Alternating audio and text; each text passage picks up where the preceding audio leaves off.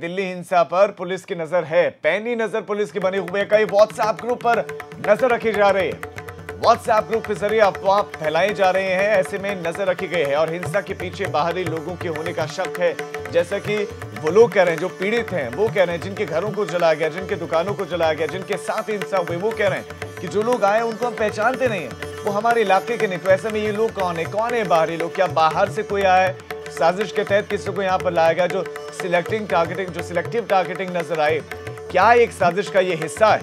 बहरहाल, दिल्ली पुलिस की नज़र है उन व्हाट्सएप ग्रुप्स पर भी जहाँ पर इसका ज़िक्र हुआ है। व्हाट्सएप के ज़रिए भी हिंसा फैलाने के लिए अफवाहें फैलाई गई।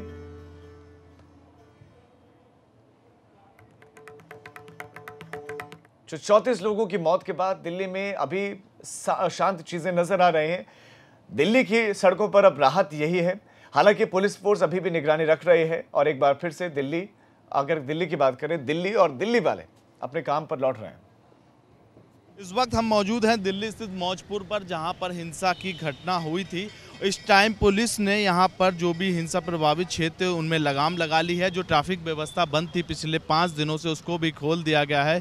पुलिस की टीम लगातार चप्पे चप्पे पर नज़र बनाई हुई है। वहीं पूरे पूरे दिल्ली में 45 अर्धसैनिक बल की कंपनियों की तैनाती कर दी गई है कि कहीं पर भी हिंसा जैसी घटना अब दोबारा ना हो। इन पूरे पाँच दिनों पर जो हिंसा की जहाँ जहाँ घटना हुई थी, वहाँ पर पूरी अर्धसैनिक बल की कंपनियाँ अब तैनात हैं। वहीं अगर बात करें तो एन एनएसए अजीत डोभाल भी इस पर पूरी लगाम लगाए हुए हैं और खुद दौरों पर निकले हुए हैं कि किसी भी तरह की हिंसा ना हो। दिल्ली से वीरपाल के साथ मैं विवेक यादव, एबीपी गंगा।